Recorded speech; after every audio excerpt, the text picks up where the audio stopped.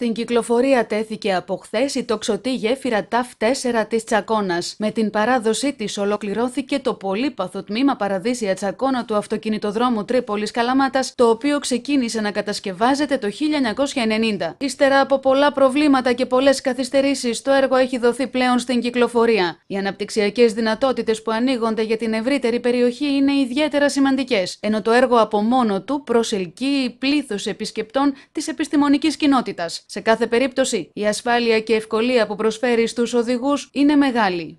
Ε, πραγματικά, μετά από πάρα πολύ χρόνο, πάρα πολλές δυσκολίες, πάρα πολλά προβλήματα, ε, οι δυσκολίες ήταν περισσότερες δικές μας, ήταν της εταιρείας μας. Εμείς επομιστήκαμε το μεγαλύτερο βάρος της ευθύνης. Ε, εν πάση περιπτώσει, ολοκληρώθηκε με επιτυχία αυτό το έργο. Ε, αποδόθηκε σε κυκλοφορία εχθές Πέμπτη γύρω στις 11.30 ώρα το μεσημέρι. Η κυκλοφορία μέχρι στιγμής ε, διεξάγεται κανονικά, όπως ήταν αναμενόμενο εξάλλου.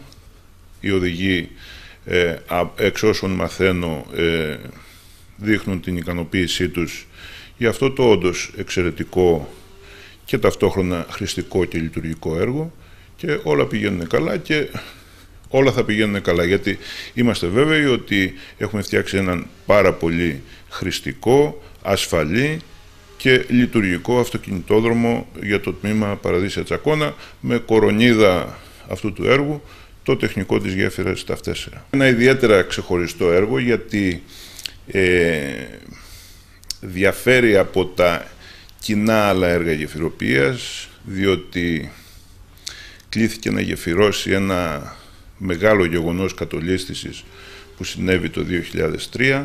Έπρεπε να έχει ένα τεράστιο άνοιγμα το οποίο φτάνει τα 300 μέτρα ώστε να μπορεί, αν ποτέ ενεργοποιηθεί αυτή η κατολίσθηση, να κυλήσει σαν ένα ε, χωμάτινο ποτάμι κάτω από το μεγάλο άνοιγμα και να μην επηρεάσει καθόλου ούτε τον αυτοκινητόδρομο ούτε την ασφάλεια του τεχνικού. Ε, είχαμε μηδενικό δίκτυο ατυχημάτων, μπορέσαμε και ολοκληρώσαμε με επιτυχία το έργο και έχουμε μια ικανοποίηση σε αυτό. Ε, η εταιρεία μας, η Terna ΑΕ, είναι μια ελληνική εταιρεία.